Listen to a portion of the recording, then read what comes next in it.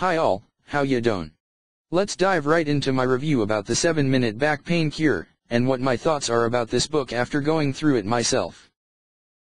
You see, a few years ago I suffered a fall that resulted in progressive and long-term back and hip pain. After two MRIs, I was diagnosed with having four herniated discs. So of course I was put on prescription pain meds, muscle relaxants, and physical therapy. All of the prescription meds kept me in a constant mental haze, but did little to relieve pain. When they did relieve my pain it was short term, maybe just a couple hours.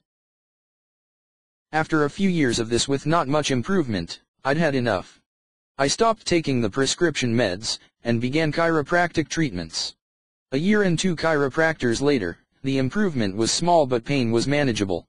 Unfortunately the last session with the chiro left me feeling worse than when I began the treatments.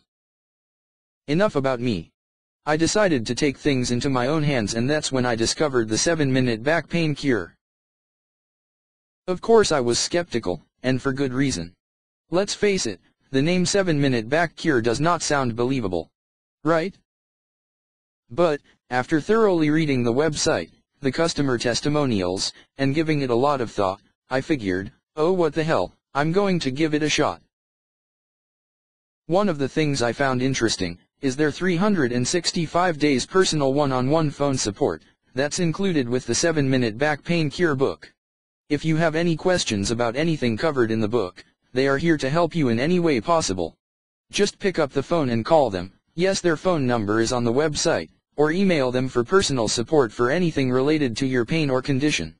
No other book on back pain comes with this level of support. Okay, so what are my thoughts about the 7-minute back pain cure now? I wish that I had found this book earlier. Great information. Pay attention to all the details.